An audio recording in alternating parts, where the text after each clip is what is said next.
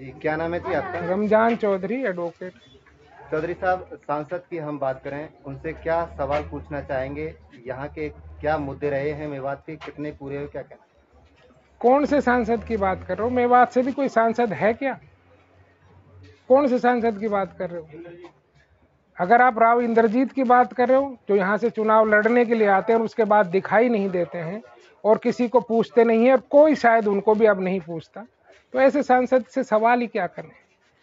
कितनी उम्मीदों के साथ उनको पहले दो तीन बार कांग्रेस में जिताया, फिर बीजेपी में जिताया, यहाँ के लोगों को बड़ी अपेक्षाएँ थी, लेकिन वो तो राजा बनकर अपने घर में, अपने फार्म हाउस में बैठ के काम करते हैं, दिल्ली में बैठ के काम करते हैं। हमें ऐसे सांसद से ना कोई सवाल करना है, ना कोई उनसे अपेक्षाएँ, ना कोई उम्मीदें हैं। हम तो ऐसा सोचते हैं कि ऐसा सांसद हमारे इलाके के लिए ना कोई सवाल को हल कर सकता है, ना किसी मुद्दे को हल कर सकता है, ना किसी समस्या को हल कर सकता है। अगर सांसद ऐसा होगा, जो ज़मीन से जुड़ा हुआ आदमी होगा तो शायद मेवात की समस्याओं को, मेवात के तमाम मसलों को हल कर सकता है, वरना किसी से क्या सवाल करना? हमारा कोई सवाल नहीं है और ना वो किसी सवाल को हल करने के लायक है। देखो, इतनी सारी मांगे, अगर गिनाने पाऊँ तो किताबें लिख जाएँ। है ना? मेवात कैनाल की मांग है फोर लेन रोड की मांग है है ना? हमारे ज़िले में इतने सारे स्कूल्स, अध्यापक, तमाम तरह के अस्पतालों की हालत बिगड़ी हुई है। कोई डॉक्टर यहाँ ठहरता नहीं है, अध्यापक यहाँ रुकते नहीं है। लड़कियों के लिए कोई कॉलेज नहीं है, यूनिवर्सिटी नहीं है। और तमाम तरह की जो रोज़मर्रा, मरे की जो कृषि से एग्रीकल्चर से जुड़ी हुई ज़मीनें हैं, मुआवजे की बात है, बहुत सारे सिस्टम ऐसे हैं, हर एक मुद्दे हैं, हर हर घर में, हर गली में समस्या है ना? हॉस्पिटल के बारे में कितना सफ़ेद हाथी बना हुआ है। तमाम मेवात की अस्पतालें सफ़ेद हाथी बनी हुई उनमें डॉक्टर नहीं है डिलीवरी के लिए भी और छोटे छोटे मसलों के लिए भी रोहतक और परसों कोई मुझे बता रहा था कि एक्सरे के लिए सिर्फ़ एक्सरे के लिए रोहतक उनको रेफर कर दिया। अगर हमारा मेडिकल कॉलेज में एक्सरे के लिए भी नल्लड़ पीजीआई नल्लड़ से पीजीआई भेजना पड़ेगा तो आप उनकी हालत देख सकते हैं। तो हेल्थ की समस्याएँ हैं, शिक्षा की समस्याएँ हैं, कृषि की समस्याएँ हैं, सिंचाई की समस्याएँ हैं सड़कों की समस्याएँ हैं, पढ़ने की समस्याएँ हैं, कितने बच्चे बाहर पढ़ने के लिए जाते हैं, क्योंकि यहाँ अच्छे स्कूल नहीं है। अभी जो अच्छे चार पाँच स्कूल थे एमडीए के तहत उन सारे स्कूलों को मर्ज कर दिया सरकारी स्कूल बना दिया। कुछ ऐसी उम्मीदें थी, उनको भी ख़त्म कर रहे हैं। यानी अच्छा करने के बजाय उन तमाम अच्छी जो संस्थाएँ हैं, उनको भी अदल बदल करके ख़राब कर रहे हैं। ये यहाँ की बात है। तो कौन करेगा इनको? ऐसी कोई उम्मीद नहीं है कि जिनसे हम उनको कर सकें। हाँ सरकार है, सरकार अगर कुछ सोचना चाहे तो कुछ अच्छा कर सकती है, कुछ अच्छा किया भी होगा, लेकिन संसद से कोई उम्मीद नहीं की जा सकती। आज़ाद खान नाम है मेरा। जी। यहाँ के सांसद श्री राव इंद्रजीत सिंह कई बार रह चुके हैं और मैं समझता हूँ कि मेवात को पता नहीं क्यों ये अनदेखा करते हैं। आज तक जब इलेक्शन का टाइम होता है तब तो वो लोगों के पैरों में पानी डालते हैं पीते हैं। उसके बाद तो ये फटकते ही ना है। मेवात की जो हालत कर रखी है ना और मैं बहुत बड़ी खैर सांसद की भी नहीं मानता। हमारे लोकल जो विधायक बनते हैं, उन्हें कभी मेवात की आवाज़ ना उठाई किसी भी चीज़ के लिए। गलती से मुझे एक लीडर मिल गया था। और मैंने उससे पूछा, जी, आपके तो यहाँ हर तरह के भवन हैं। जाट भवन गुजर भवन, सब भवन। आज तक मेव भवन क्यों नहीं है?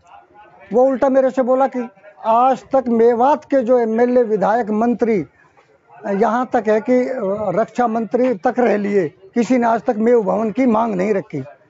और हमारी सरकार आएगी तो सबसे पहले मेव भवन का काम करेंगे। ऐसा ही, अब ये रोड वाली बात जो अभी मेरे से पहले कह रहे थे, रोड वाली बात भी यही है। कितने बड़े बड़े हादसे हो रहे हैं। मुझे ऐसा लगता है कि बीजेपी सरकार इस रोड पे भी जाति ढूंढ रही है। वो सोचता है कि एक ही बिरादरी के लोग मारे जाते हैं।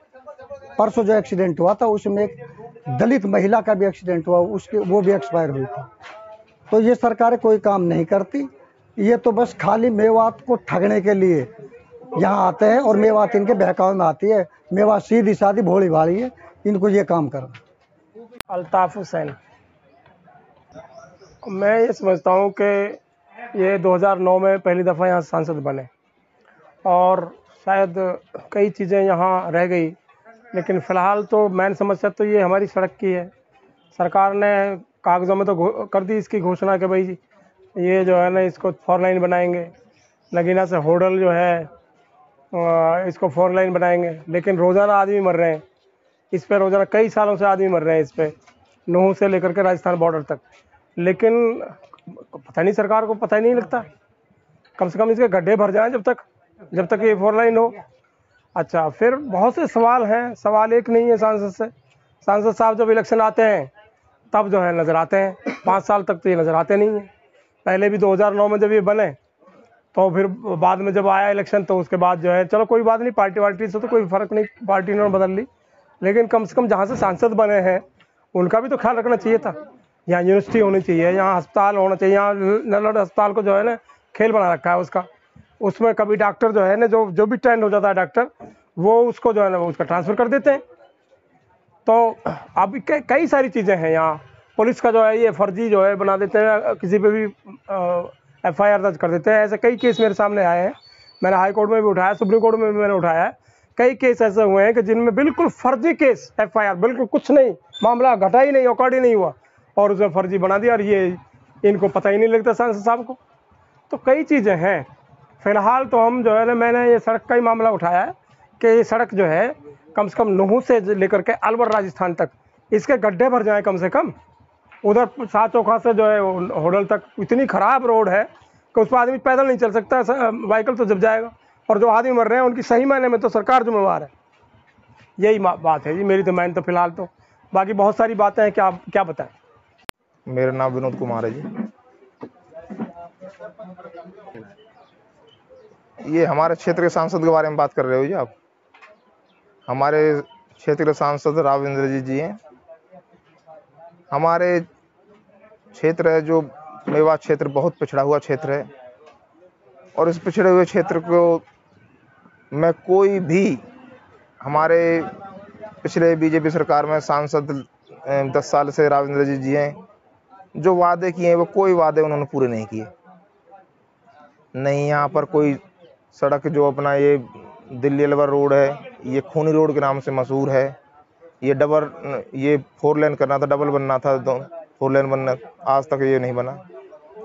कोटला झील है, उसका को सौंदर्यकरण होता, वो नहीं हुआ। शिक्षा का क्षेत्र इतना गिरा हुआ है कि वहाँ पर कोई कैसी सुविधा, कोई मुहैया नहीं है। ऑफिसों में, सरकारी डिपार्टमेंटों में सब में बुरा हाल है। रिश्वतखोरी कोई कम नहीं हुई। रिश्वतखोरी और बढ़ गई है।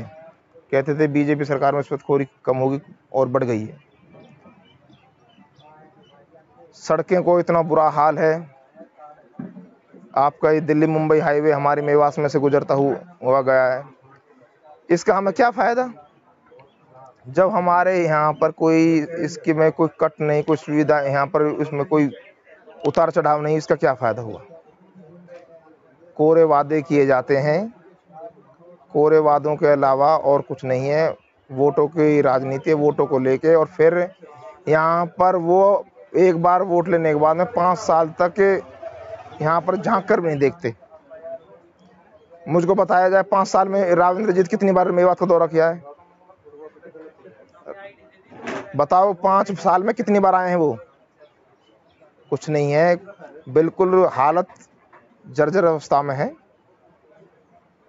कैसी कोई सुविधा नहीं है। पानी की, पानी का यहाँ पर मेवात के अंदर टैंक भरते हैं। वो टैंक आता है, हज़ार रुपए का, पंद्रह सौ रुपये का उसे डलवाते हैं। उसमें दस दस दिन पंद्रह पंद्रह दिन तक लोग उसको पीते हैं। बेकार हो जाता है पानी, उसको पीते रहते हैं। कोई पानी की सुविधा नहीं है। कोई बिजली की सुविधा नहीं है। रास्ते कच्चे पड़े हुए हैं उनमें बरसात होने पर निकलने की जगह नहीं है। आपको जन, आपने देखा होगा फ़िलहाल कितनी वीडियो गाँवों की डल रही हैं, जिनमें रास्ते फ्री नहीं में से निकलना भारी है।